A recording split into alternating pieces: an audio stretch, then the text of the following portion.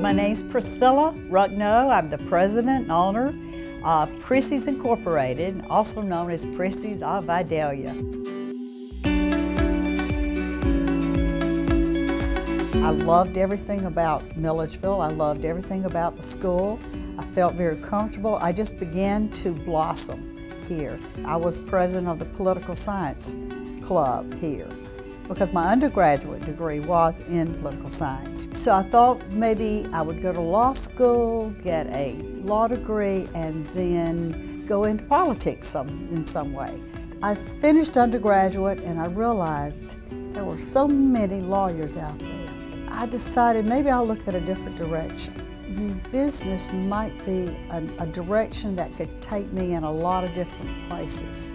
That's how I ended up in the MBA program and, I never have regretted it. I was the first woman to graduate with an MBA from Georgia College. Getting an MBA really helped people to take me, you know, as a female back in the middle and early late 70s. It was not that easy for us women.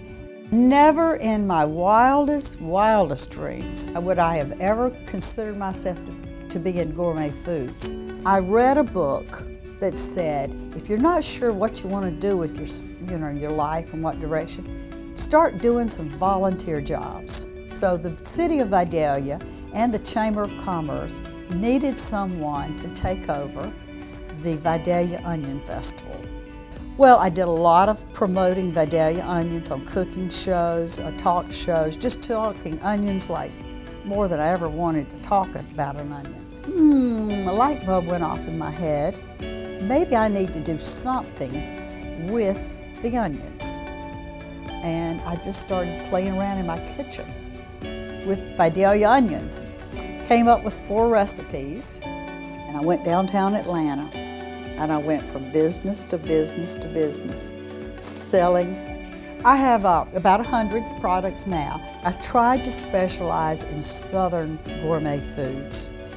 The college, it just made me feel like I was going to be successful.